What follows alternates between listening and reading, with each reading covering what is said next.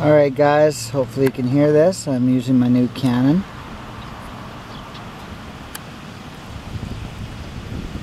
And over the uh, over the summer we're gonna watch this little guy. Got a new chick. Sorry, I'm super zoomed in and I'm not using my tripod.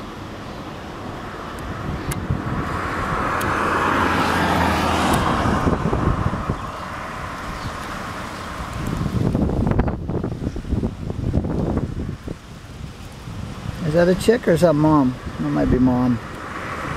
She may actually just have eggs in there now. I apologize for my bounciness. I will uh,